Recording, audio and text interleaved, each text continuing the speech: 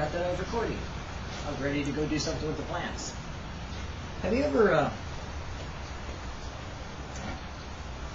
went and did something that you shouldn't have? You know, like, oh, I don't know, kind of thought that you should do something. You know, you've heard that expression. When you don't know what to do, do something. Well, I've heard that expression. Sometimes it's been used on me by pastors, by teachers, by people sharing the Word of God. And one day I decided to look it up. You know, Strong's Concordance, or my case, lately, instead of a Strong's, I use Google. my favorite expression, Google it. One way or another, you're going to find out either what the Bible has to say, what all kinds of commentaries have to say, what all kinds of websites have to say, what all kinds of people have to say. But if you Google it, one way or another, you're going to hear something. or you can, you know, of course, Bing it, but it doesn't sound quite so interesting. Bing it. uh, yeah, uh, you know. You could have AltaVista'd it, but, you know, those days are kind of going by the wayside. But I went ahead and Googled just do something, and I found it wasn't in the Bible. Look of shock. Bing! The light came on.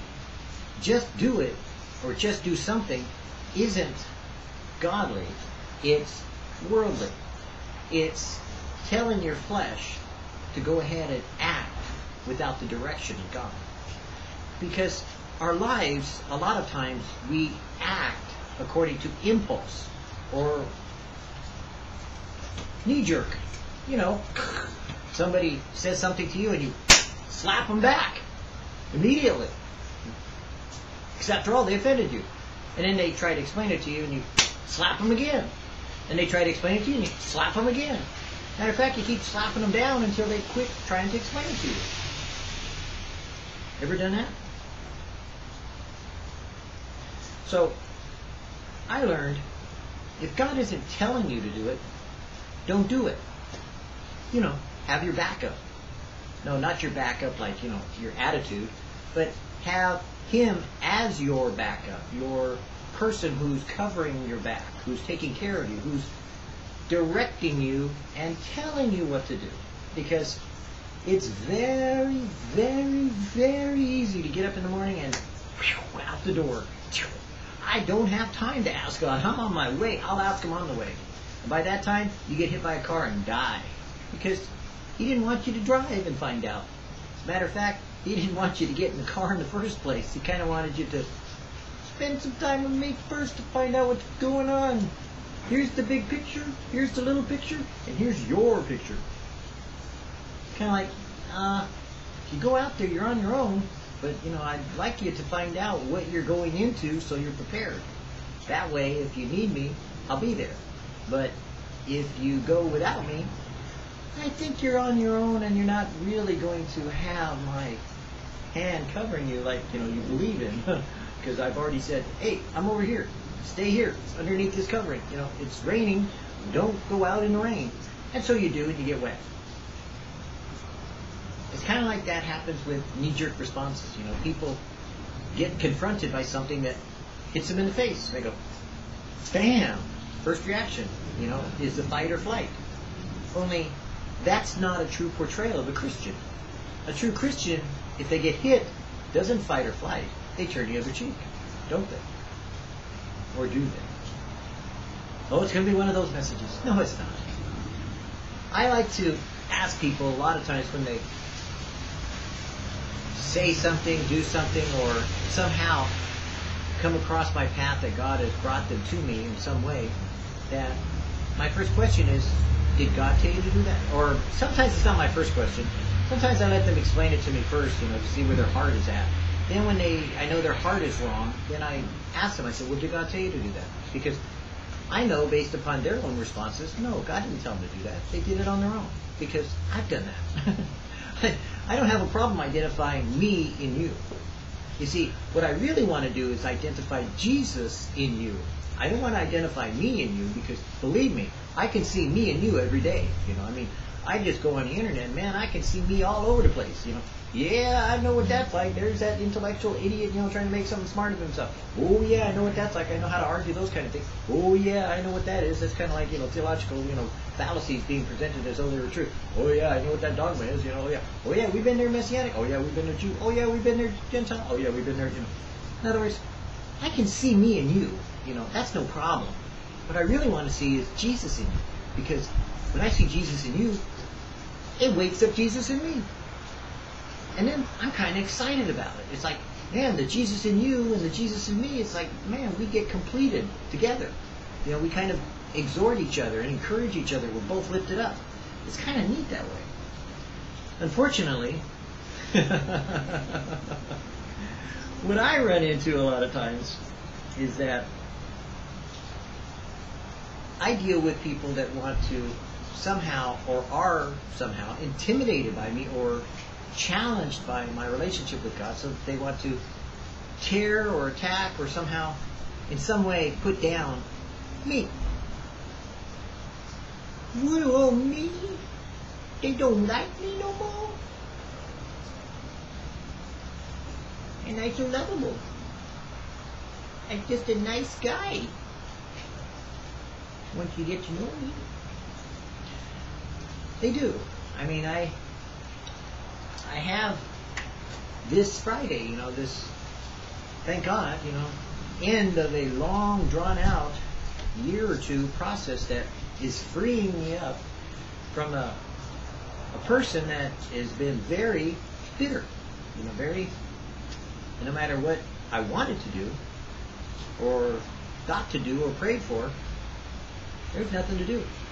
So, in the end, I said, if God doesn't tell me to do it, I'm not doing it. And so, at some point in time, we just recently finally are, we've been burned, you know, big time by this person. And I told my wife, I said, look, we're moving into a place of blessing. I said, you know, I'm going to bless that person. I'm going to pray for them. I'm going to pray for their ministry. I'm going to pray for their, their church, their everything that they are, you know, that they, they, they say they are and they personify and they do. I don't care what they've done to me. I don't care how they act.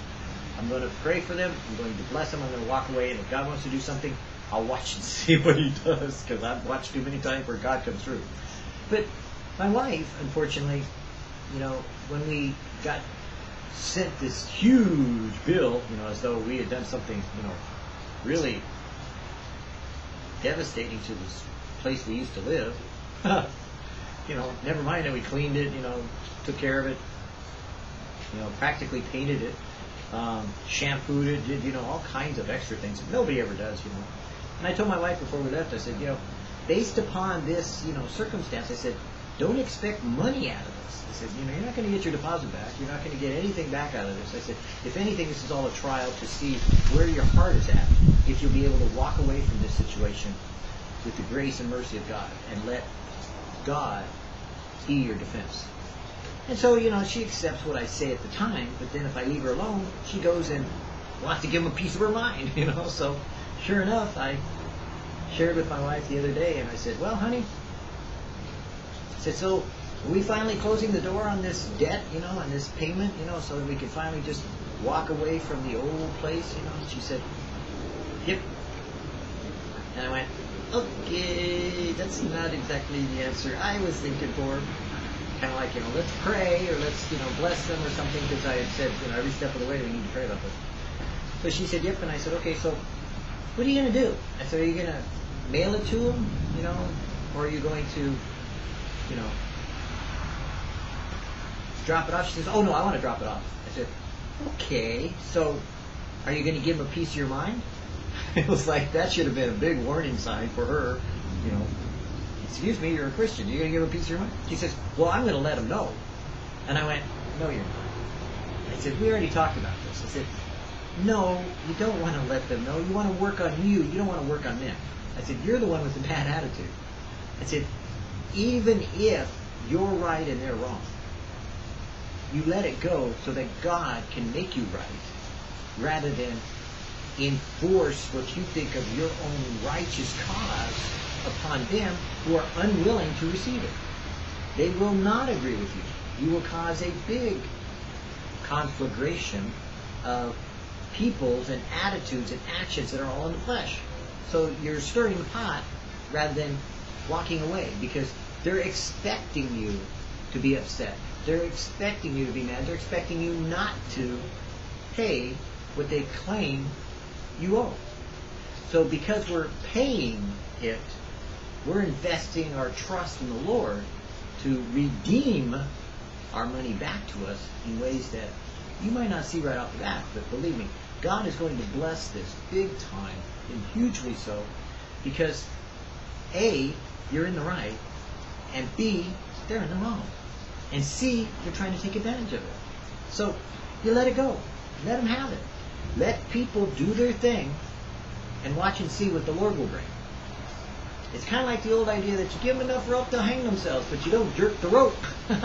you let the rope out. You know, you don't go, here's some rope, and you, you know, because if anything, they'll get choked and then they'll grab that rope and then throw you overboard with that rope, so to speak.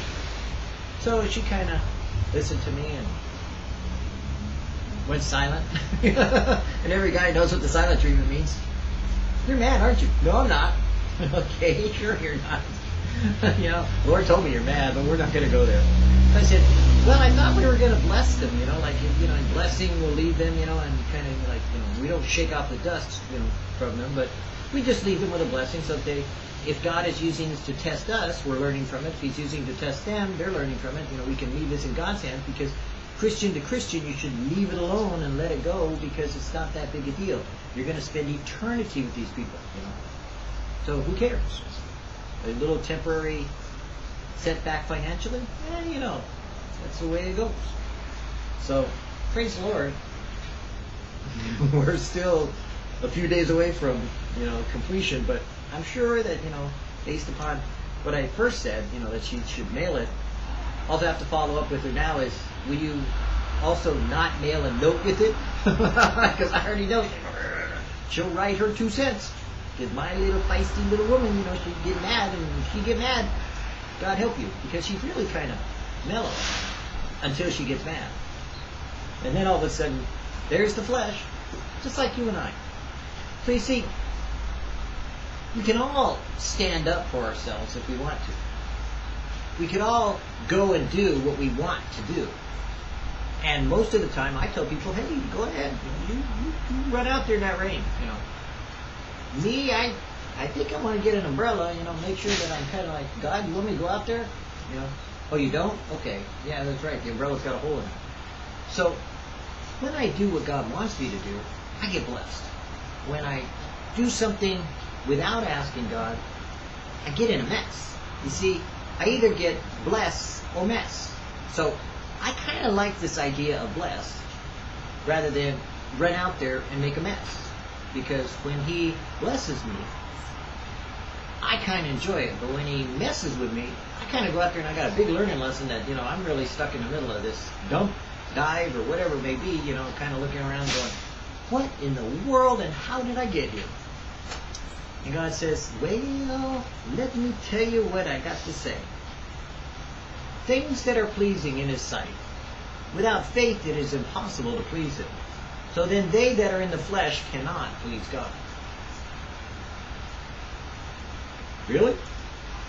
You mean I was fleshing out? Whatsoever things are pure, whatsoever things are holy, you know, kind of like the one we read earlier, that we talked about before. The Lord takes pleasure in his people. This is thankworthy. If a man for conscience toward God endure grief, suffering wrongfully, if when you do well and suffer for it, you take it patiently, this is acceptable with God. But if a man for conscience toward God endures grief, suffering wrongfully, then how right is it of him to endure that? Because you see, for your conscience sake.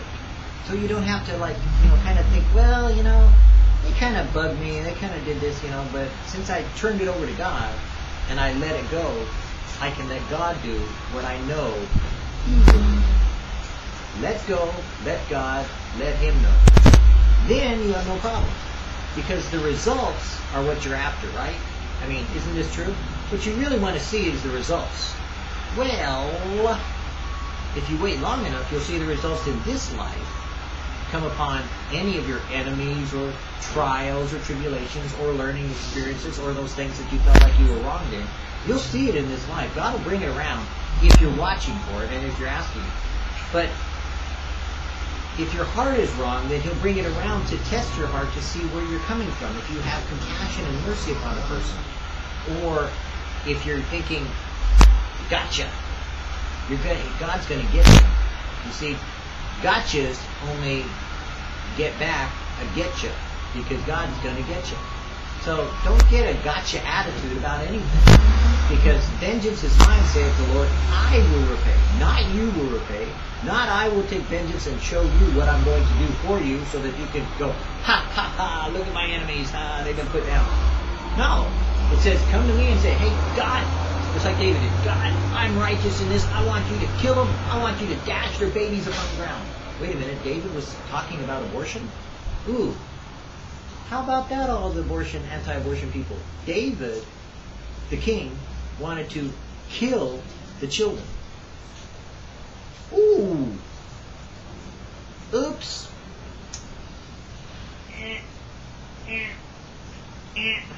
Sometimes, you know, you just don't want to get too caught up in social issues. Because if you really go back to the Bible, you find all kinds of things you don't want to know. David did want his enemies' kids to be smashed to pieces on the rocks. Sounds like abortion to me. Or pretty close. Now, I'm not saying David was right. He's a man after God's own heart. But he wanted his enemies killed? Children killed? Kind of frustrates the appearance of grace, doesn't it?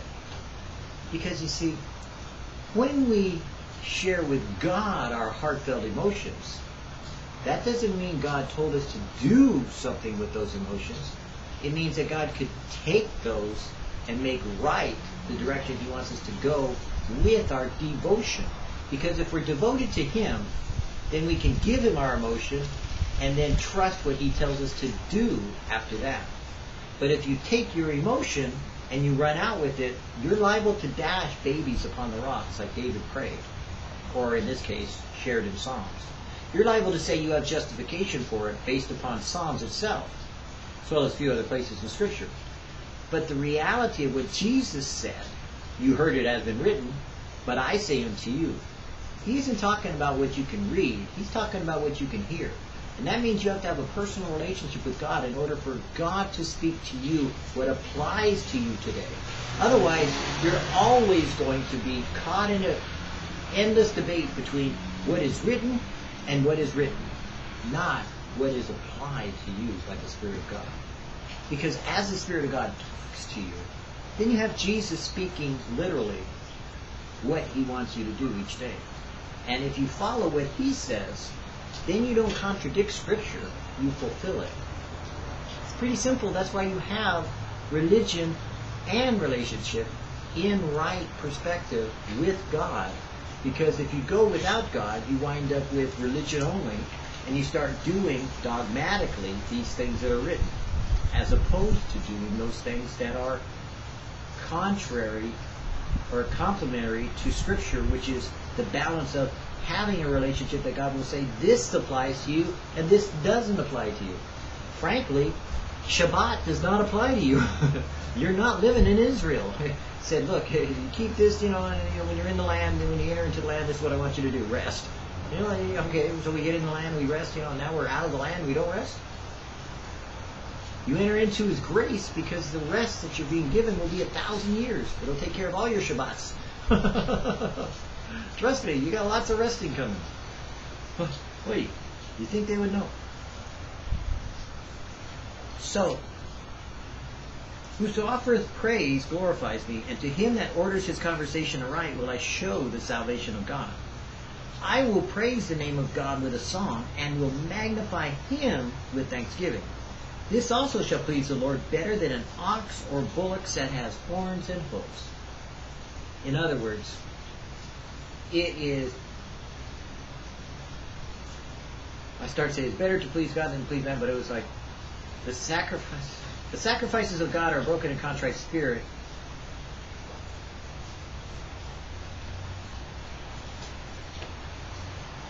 and he will not despise. I can't think of the rest of the scripture. Wow, that's amazing.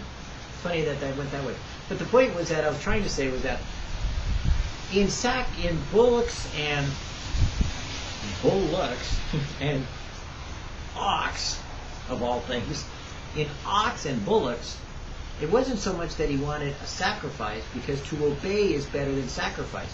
You are better off obeying what God tells you to do than reading about the sacrifices of God and trying to make your life a sacrifice to Him by what you say you're going to do or what you think religion will tell you to do without involving Him telling you what to do. Because obedience trusts in the person it's obeying by the last command it was given or the last statement that was shared with Him.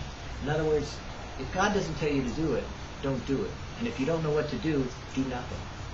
Because you see, everyone wants to get up and do something. They want to run out there and accomplish something. They say, well, I got an idea, so they go out and do it. Instead of, I got an idea, I think I'll pray about it. Now, I pray about a lot of things. God starts me on something, and then God says, as I'm on my way, yes, I want you to be inspired this way, but now here's how I want you to use that inspiration. Now that I've got your attention, I'm going, oh, okay, so then I kind of get steered around once I'm on the way. But if I'm just sitting there on my hands doing nothing, then sometimes I'm waiting on the Lord to inspire me. Because you see, if you don't get told what to do, you shouldn't do it. Period. The reason being is that I beseech you, brethren, by the mercies of God, that you present your bodies a living sacrifice, wholly acceptable unto God, which is your reasonable service. If your body, your physical being, right now, in this place, in this time, is presented to God as a living sacrifice, that means you're willing to bind yourself to the altar, sit there and wait until God either slaughters you, impresses upon you, releases you, or tells you where to go, what to do, and what to say. Most of the people I meet have no clue about a God-directed life. They only have an idea about the direction that God wants them to go, and then they take the footsteps on their own, even though they're ordered of the Lord. They take the footsteps of their own and ignore them along the way. When in reality, God wants us to take every step with Him, every step of the way. Because in the cool of the day, God walked with Adam, and they had fellowship. When you have fellowship with someone in intimacy, you spend a lot of time together. Now, some people don't want to be around their wife. Some people want to be always around their wife. Some people don't want to be around their husband. Some people always want to be around their husband. But the person you love with your first love, you are obsessed with that person that you couldn't stand being apart from him. And that's what God wants from you. Because Jesus would rather you spend time with him doing nothing than doing lots of things without him. So every day that you choose to live your life this way, offering yourself as a living sacrifice, holy and acceptable unto God, except you hear from Him, don't do what you think you ought to do. Do what He tells you to do today.